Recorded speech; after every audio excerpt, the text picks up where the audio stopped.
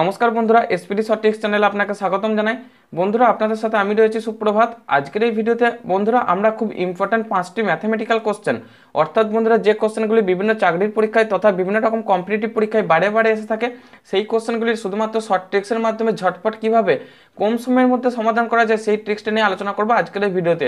বন্ধুরা, আমাদের প্রথম কোশ্চেনটি দেখো যে, একটি নল, অর্থাৎ পাইপ একটি চৌবাচ্চা পনেরো ঘন্টায় পূর্ণ করতে পারে ওকে কিন্তু ওই চৌবাচ্চাটির তলদেশে একটি ছিদ্র থাকায় চৌবাচ্চাটি পূর্ণ হতে কুড়ি ঘণ্টা সময় নেয়।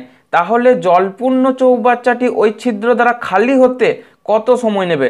অর্থাৎ বন্ধুরা, এখানে যে পাইপ বা নলটি লাগানো রয়েছে, সেই নলটির সাহায্যে চৌবাচ্চাটি পূর্ণ হয় এবং যে ছিদ্রটি রয়েছে, সেই ছিদ্রটির সাহায্যে চৌবাচ্চাটি থেকে জল বেরিয়ে যায় এবং সেই চৌবাচ্চাটি আস্তে আস্তে খালি হয়ে যায়, ঠিক আছে? এখন আমাদের প্রশ্নটি দিয়েছে যে, ওই ছিদ্রটি দ্বারা চৌবাচ্চাটি খালি হতে কত সময় নেবে? দেখো বন্ধুরা, আমাদের কম্পিটিটিভ পরীক্ষা তথা বিভিন্ন রকম চাকরির পরীক্ষার জন্য এই ধরনের কোশ্চেনগুলোকে কীভাবে ঝটপট সলভ করব? প্রথমে দেখো বন্ধুরা, যে একটি চৌবাচ্চা পনেরো ঘন্টায় পূর্ণ করতে পারে, ঠিক আছে? অ্যাকচুয়ালি পনেরো ঘন্টাতে যদি ছিদ্রটা না থাকতো, তাহলে পনেরো ঘন্টায় পূর্ণ করতো। অর্থাৎ বন্ধুরা, পনেরো ঘন্টায় কতটা অংশ পূর্ণ করে? টোটাল অংশটা, ধরা যাক টোটাল অংশটা এক। তাহলে বন্ধুরা, এক ঘন্টায় কতটা পূর্ণ করে? একের পনেরো অংশ, ঠিক আছে বন্ধুরা? অর্থাৎ একের পনেরো অংশ এটা পূর্ণ করে ওকে এখন বন্ধুরা বলা রয়েছে যে, তলদেশে একটি ছিদ্র থাকায় সেটি কুড়ি ঘণ্টা সময় নেয় পূর্ণ হতে। অর্থাৎ বন্ধুরা, এক্ষেত্রে তলদেশে ছিদ্র দিয়ে কিছুটা জল বেরিয়ে যাচ্ছে। এখন সম্পূর্ণ চৌবাচ্চাটি এই ছিদ্রটি থাকার জন্য কুড়ি ঘন্টায় পূর্ণ হচ্ছে, ঠিক আছে? অর্থাৎ বন্ধুরা, যতটা জল বেরিয়ে যাচ্ছে, এখন কুড়ি ঘন্টায় যেহেতু সে পূর্ণ হচ্ছে পুরো অংশটা ধরা যাক এক অংশ। তাহলে এক ঘন্টায় পূর্ণ হচ্ছে একের কুড়ি অংশ, ঠিক আছে? একের কুড়ি অংশ, ওকে বন্ধুরা? এরপর দেখো, এখানে একটা খুব ইম্পর্টেন্ট বিষয় বজায় রয়েছে যে একের পনেরো অংশ এক ঘন্টায় পূর্ণ হচ্ছে যখন ছিদ্রটি ছিল না। আর ছিদ্রটি থাকার জন্য এক ঘন্টায় একের কুড়ি অংশ পূর্ণ হচ্ছে, ঠিক আছে বন্ধুরা? ওই এক ঘন্টায় ছিদ্রটি দিয়ে কতটা জল বেরিয়ে যাচ্ছে তখন একের পনেরো মাইনাস একের কুড়ি অংশ, ঠিক আছে? এটাকে যদি আমরা যোগ বিয়োগ করি, অর্থাৎ ক্যালকুলেশন করলে আমাদের অ্যান্সারটা দাঁড়াবে, পনেরো আর কুড়ি লসাগু হচ্ছে ষাট। তার মানে বন্ধুরা একে ষাট অংশ। ওকে বন্ধুরা, অর্থাৎ এইটি এক ঘন্টায় খালি হচ্ছে, ঠিক আছে? এক ঘন্টায় এটি খালি হচ্ছে একে ষাট অংশ। তার মানে ছিদ্রটির সাহায্যে একে ষাট অংশ খালি হচ্ছে। অর্থাৎ বন্ধুরা আমরা উল্টো দিকে বলতে পারি যে একে ষাট অংশ খালি হয় এক ঘন্টায়। ঠিক আছে? তার মানে এক অংশ মানে হচ্ছে পুরো চৌবাচ্চাটি খালি হতে, অর্থাৎ এক অংশ যেহেতু ধরে নিচ্ছি পুরো চৌবাচ্চাটির পরিমাণ, তাহলে এক অংশ খালি হচ্ছে এক বাই একের ষাট, ওকে? অর্থাৎ বন্ধুরা ষাট ঘন্টায়, ঠিক আছে? বোঝা গেছে? এই ধরনের কোশ্চেন আমাদের পরীক্ষার জন্য খুবই ইম্পর্টেন্ট তাহলে বন্ধুরা আমাদের অপশান ডি হলো এখানে সঠিক অ্যান্সার বন্ধুরা বিভিন্ন চাকরি পরীক্ষার জন্য এই ধরনের কোশ্চেনগুলো আমাদের আরও ইম্পর্টেন্ট যেহেতু বিভিন্ন পরীক্ষায় বারে বারে পড়ে থাকে, ঠিক আছে? নেক্সট আমরা দ্বিতীয় কোশ্চেনে চলে যাব। বন্ধুরা আমাদের দ্বিতীয় যে খুব ইম্পর্টেন্ট কোশ্চেনটি দেওয়া রয়েছে, এক ব্যক্তি নদীর স্রোতের অনুকূলে পাঁচ ঘন্টায় তিরিশ কিলোমিটার সাঁতার কেটে পাড়ি দিতে পারে, ঠিক আছে? এবং ওই একই সময়ে স্রোতের প্রতিকূলে আঠারো কিলোমিটার সাঁতার কাটতে পারে। তাহলে স্রোতের বেগ কত? এটা আমাদের জানতে হবে। অর্থাৎ বন্ধুরা, এর একটি সুন্দর ইম্পর্টেন্ট ফর্মুলা আছে। তার আগে বন্ধুরা একটা কথা বলি, যে পাঁচ ঘন্টায় তিরিশ কিলোমিটার স্রোতের অনুকূলে, অর্থাৎ বন্ধুরা স্টেপ ডাউন যেটাকে বলা হয়, অর্থাৎ স্রোতের দিকে বা ডাউন স্ট্রিমের যে সাঁতারটা কাটছে, এটাকে আমরা ডাউন বলে লিখলাম, ঠিক আছে? ডাউনের ক্ষেত্রে দেখো, স্রোতের বেগ তাহলে কত? তিরিশ কিলোমিটার যাচ্ছে পাঁচ ঘন্টায়। বেগ মানে হচ্ছে কত দূরত্ব যাচ্ছে, অর্থাৎ তিরিশ কিলোমিটার ডিভাইডেড বাই পাঁচ ঘণ্টা, ঠিক আছে?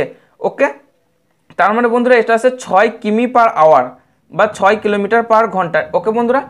এবং বলেছে যে স্রোতের প্রতিকূল অর্থাৎ স্রোতের বিপরীতে আঠারো কিলোমিটার সাঁতার কাটতে পারে। অর্থাৎ বন্ধুরা, সেক্ষেত্রে একই সময় মানে হচ্ছে পাঁচ ঘন্টায় স্রোতের বিপরীতে আঠারো কিলোমিটার সাঁতার কাটতে পারে। সেটা হচ্ছে আঠারো কিমি বাই পাঁচ ঘণ্টা, ঠিক আছে?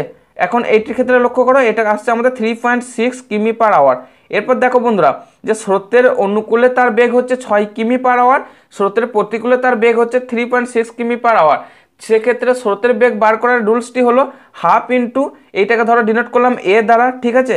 এটাকে ডিনোট করলাম বি দ্বারা, অর্থাৎ স্রোতের প্রতিকূলে বেগটাকে ডিনোট করলাম বি দ্বারা, স্রোতের অনুকূলে বেগটাকে ডিনোট করলাম এ দ্বারা। ওকে বন্ধুরা, তাহলে স্রোতের বেগ হচ্ছে, অর্থাৎ half into A minus B okay অর্থাৎ স্রোতের অনুকূলে বেগ মাইনাস স্রোতের প্রতিকূলে বেগ তাকে দুই দ্বারা ডিভাইড করা হয়। অর্থাৎ half into six minus three point six মনে থাকবে বন্ধুরা, এটা হচ্ছে কিলোমিটার পার আওয়ার ওকে অর্থাৎ এর অ্যান্সারটা আসবে six minus three point six মানে হচ্ছে টু পয়েন্ট ফোর তাকে যদি দুই দ্বারা ভাগ করি তাহলে ওয়ান পয়েন্ট টু কিমি পার আওয়ার। বোঝা গেছে বন্ধুরা? এটা হচ্ছে আমাদের অ্যান্সার অর্থাৎ ওয়ান পয়েন্ট টু কিমি পার আওয়ার। এখন দেখো আমাদের অপশনের দিকে কোনটি সঠিক অ্যান্সার অপশন এ হলো এখানে সঠিক অ্যান্সার বন্ধুরা, এক্ষেত্রে আমাদের খুব ইম্পর্টেন্ট ফর্মুলাটা হচ্ছে half into A minus B এটা আমাদের মনে রাখতেই হবে। যেহেতু বিভিন্ন কম্পিটিভ পরীক্ষার জন্য কোশ্চেনটি খুবই ইম্পর্টেন্ট সেক্ষেত্রে আমাদের সময় নষ্ট যাতে না হয়, তার জন্য খুব কম সময়ে অ্যান্সার করার জন্য এই ফর্মুলাটা খুব ইম্পর্টেন্ট আমাদের। বোঝা গেছে বন্ধুরা? নেক্সট আমরা তাহলে তিন নম্বর কোশ্চেনে চলে যাব। বন্ধুরা, আমাদের খুব ইম্পর্টেন্ট কোশ্চেনটি দেওয়া হচ্ছে তিন নম্বরে দেখো যে একই সুদের হারে পাঁচ হাজার টাকার দু বছরের চক্রবৃদ্ধি সুদ এবং সরল সুদের পার্থক্য হচ্ছে বাহাত্তর টাকা, ঠিক আছে? বার্ষিক সুদের হার কত হবে সেটা আমাদের বার করতে হবে। বন্ধুরা, খুব ইম্পর্ট্যান্ট একটি কোশ্চেন আমাদের কম্পিটিটিভ পরীক্ষার জন্য খুব কম সময়ের মধ্যে এটিকে অ্যান্সার বার করার নিয়ম হচ্ছে, দেখো পাঁচ হাজার টাকা দু বছরের ধরা যাক আট পার্সেন্টেজ হারে, ঠিক আছে? এটা হচ্ছে বার্ষিক সুদের হার ধরে নিলাম। আট পার্সেন্টেজ সুদের হারে পাঁচ হাজার টাকা দু বছরের চক্রবৃদ্ধি সুদ কত? এক্ষেত্রে চক্রবৃদ্ধি সুদ সহ আসল সব মিলে হচ্ছে P into one plus R by একশো। Whole to the power T, যেখানে টিটা হচ্ছে সময়, ঠিক আছে? এটা হচ্ছে সুদ প্লাস আসল। তাহলে সুদ বার করার জন্য আমরা আসলটাকে বাদ দিলাম, অর্থাৎ পিকে বাদ দিলাম, ঠিক আছে? এটা হচ্ছে আমাদের চক্রবৃদ্ধি সুদ। মাইনাস, এবং বলেছে সরল সুদের পার্থক্য, অর্থাৎ সরল সুদ হচ্ছে P R T divided by একশো। এটা হচ্ছে আমাদের সরল সুদের ফর্মুলা, আর এটা হচ্ছে চক্রবৃদ্ধি সুদের ফর্মুলা। সমান বন্ধুরা, বলে দিয়েছে বাহাত্তর টাকা। পি মানে হচ্ছে এখানে পাঁচ হাজার টাকা, ঠিক আছে বন্ধুরা? আর আমাকে বার করতে হবে টি হচ্ছে দু বছর।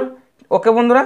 বাকি দেখো, সব ডাটা দেওয়া রয়েছে, অর্থাৎ পাঁচ হাজার ইন্টু পি যদি কমন নিয়ে নিই, তাহলে ওয়ান প্লাস আর বাই একশো টিটা হচ্ছে দু বছর, তাহলে দুই মাইনাস ওয়ান এখান থেকে পিটা কমন নিয়ে নিচ্ছি মাইনাস আর ইন্টু টি এর মানটা দুই বসে দিচ্ছি, অর্থাৎ টু আর বাই একশো ঠিক আছে? বোঝা গেছে বন্ধুরা? সমান বাহাত্তর, ভালো করে দেখো আরেকবার।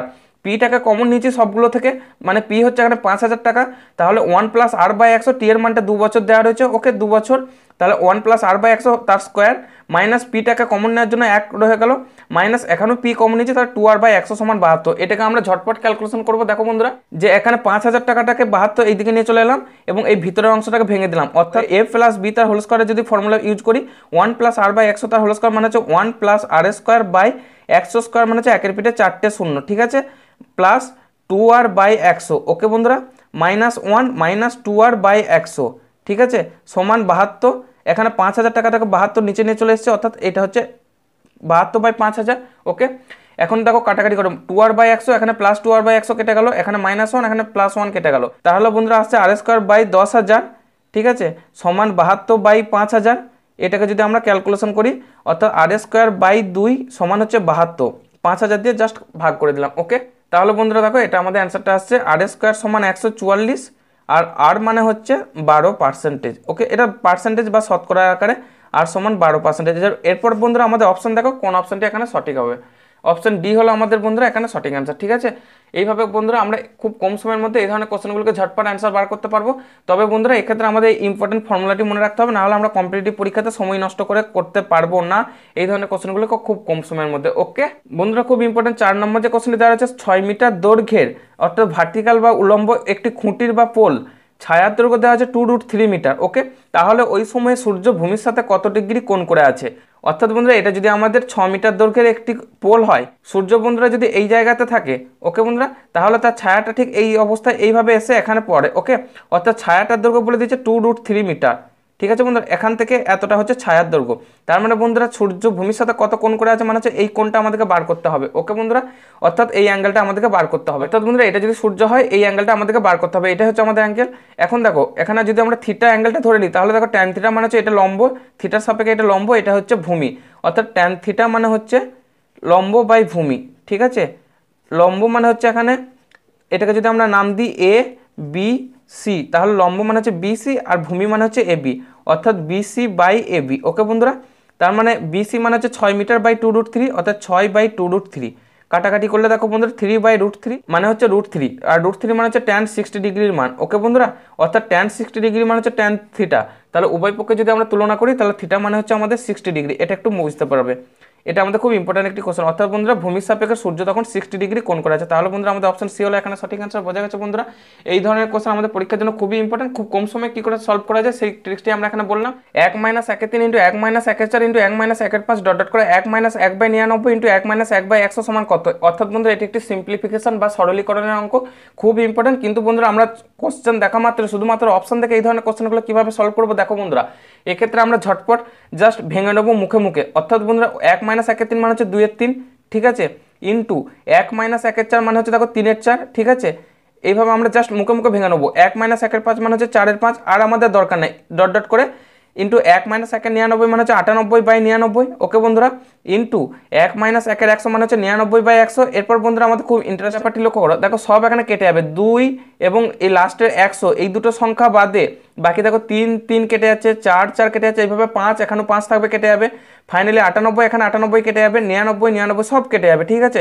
অর্থাৎ বন্ধুরা আমাদের ফাইনালি পড়ে থাকবে দুই বাই একশো ওকে অর্থাৎ একের পঞ্চাশ। এটা হচ্ছে আমাদের সঠিক অ্যান্সার বোঝা গেছে বন্ধুরা? এই ধরনের কোশ্চেন আমাদের পরীক্ষার জন্য খুব ইম্পর্টেন্ট মাত্র কয়েক সেকেন্ডে কীভাবে সলভ করা যায় বুঝতে পেরে গেছো বন্ধুরা? অর্থাৎ আমাদের সঠিক অ্যান্সার হলো অপশন সি ঠিক আছে বন্ধুরা? বন্ধুরা, সবশেষে আপনার কাছে ছোট্ট একটি অনুরোধ। যদি ভিডিওটি আপনার এতটুকু পছন্দ হয়ে থাকে, তাহলে বন্ধুরা প্লিজ অবশ্যই জরুরি একটি লাইক দেবেন। কারণ আপনার এই একটি লাইক আমাদের পরবর্তী ভিডিও বানাতে অনেকটাই মোটিভেট করবে। এবং বন্ধুরা, ভিডিওটি আপনার বন্ধু বান্ধব ও প্রিয়জনদেরও শেয়ার করে দাও। যারা এই ধরনের কম্পিটিটিভ পরীক্ষা তথা বিভিন্ন রকম চাকরির পরীক্ষার জন্য অলরেডি স্ট্রাগল করে যাচ্ছে। যাতে করে বন্ধুরা, তাদের সাকসেস লাইফের জন্য আপনি নিজেই তাদেরকে এতটুকু হলেও হেল্প করতে পারেন। বন্ধুরা, আমাদের পরবর্তী ভিডিওগুলি তৎক্ষণাৎ পাওয়ার জন্য পাশে আসা লাল রঙের সাবস্ক্রাইব বাটনটিকে প্রেস করে কালো করে দিতেও ভুলবেন না। যাতে করে বন্ধুরা ভিডিওগুলি দেওয়ার সাথে সাথে আপনারা তৎক্ষণাৎ পেতে পারেন। তার জন্য বন্ধুরা, পাশে আসা বেল আইকনটিকে ক্লিক করে অন করে দিতেও ভুলবে না। আমাদের নোটিফিকেশনগুলি তৎক্ষণাৎ পাওয়ার জন্য। এসপিডি শর্ট ট্রিক্স চ্যানেলের পক্ষ থেকে আপনাকে অনেক অনেক ধন্যবাদ জানাই ভিডিওটি সম্পূর্ণভাবে দেখার জন্য। পরের ভিডিও, পরের দিন রাত সাতটা বেজে তিরিশ মিনিটে।